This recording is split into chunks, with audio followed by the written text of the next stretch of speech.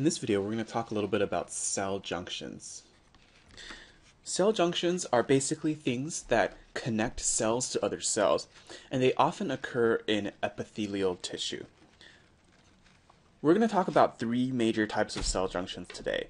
Um, the first, tight junctions, the second, desmosomes, and the third, gap junctions.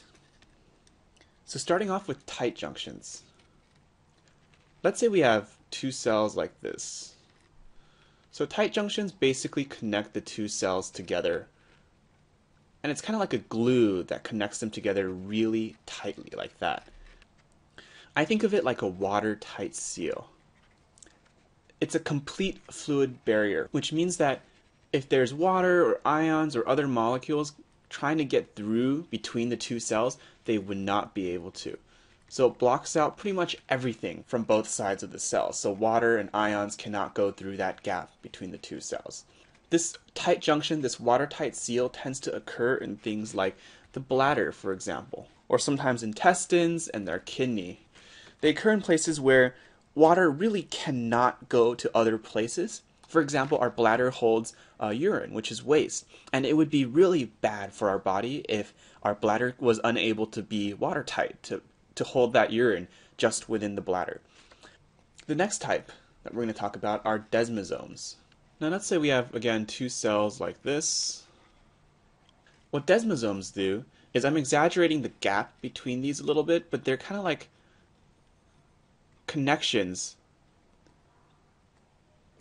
that hold two cells together. And these connections actually attach inside the cytoskeleton. And again, this gap is exaggerated. Usually the cells are a little closer.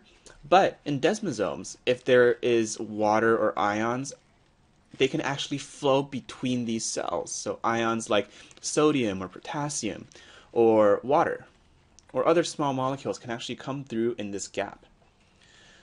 I like to think about desmosomes kind of like spot welds. They kind of hold the two cells together but it's not like a complete glued seal like the tight junctions. They're kind of spotted throughout the cell so that things can actually flow in between the cells. Desmosomes tend to occur in tissues that experience a lot of stress. Um, they offer a little bit of space for stress relief. So these spot welds, these desmosomes can be found in our skin and in our intestines. Now you notice that our intestines actually has both desmosomes and tight junctions.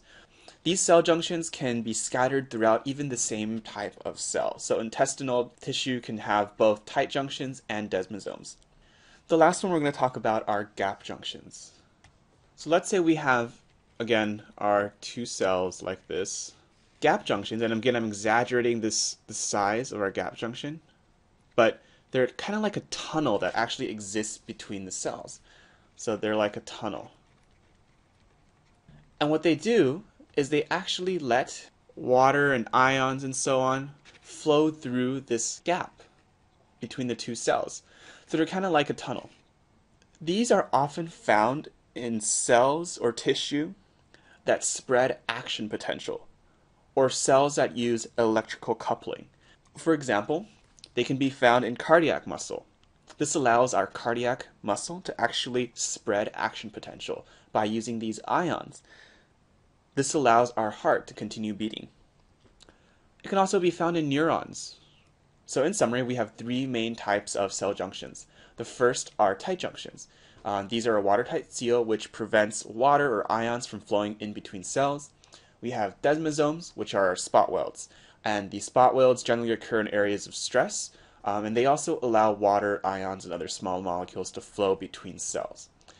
And the lastly are gap junctions. And gap junctions are tunnels that kind of connect two cells.